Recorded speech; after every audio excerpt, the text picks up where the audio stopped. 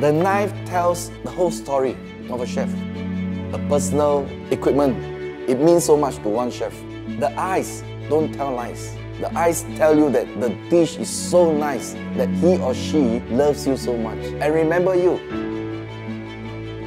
I've been participating in competitions since 1988. So the World Chef organized World Culinary Olympics competition, World Cup, the Expogast, the IGEHO in Switzerland, Master Cup. We do a lot of competition. We got the closest in the year 2000 where I was the team captain and we came in first runner-up. We got top scores, but we didn't manage to score even better to win the Olympics. But finally, we won the Olympics. This is a great inspiration to the young chefs today. We can show them that Singaporeans can do even better in the world culinary competition, competing around with 32 top countries. These are the youngsters that we want to grow, we want to groom to make them the next star chef.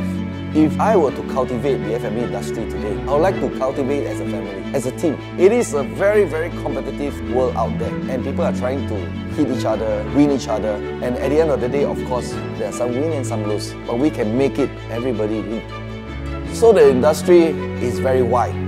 The technology evolves so fast. You say this machine can produce sliced potato. The next one, they're going to build slice and shred together.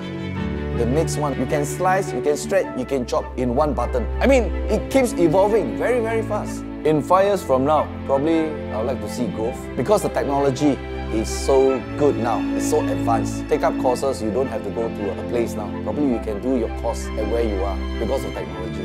Not everyone can do a job well, but if you have the heart and the passion, you know that this is a kitchen, you're going to produce something for somebody to eat, and you like it, so I'm sure you can do it very well. Give all you got, be kind, and you see the next generation coming up just like you.